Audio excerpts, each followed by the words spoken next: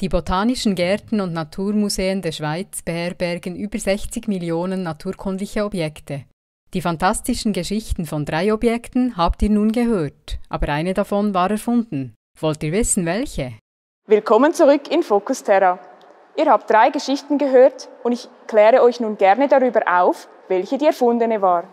Es war meine. Was an der Geschichte nicht stimmt, ist, dass das Gestein von Hawaii stammt. Stattdessen wurde es von einem Künstler extra für Focus Terra gefertigt. Außerdem ist es nicht möglich, die Herkunft der Plastikblume mit Röntgenfluoreszenzanalysen zu beweisen. Es ist aber wahr, dass es Plastikglomerate gibt und diese den enormen Einfluss von uns Menschen auf unseren Planeten zeigen. Wir danken euch fürs Mitmachen und hoffen, dass ihr viel Freude hattet beim Raten.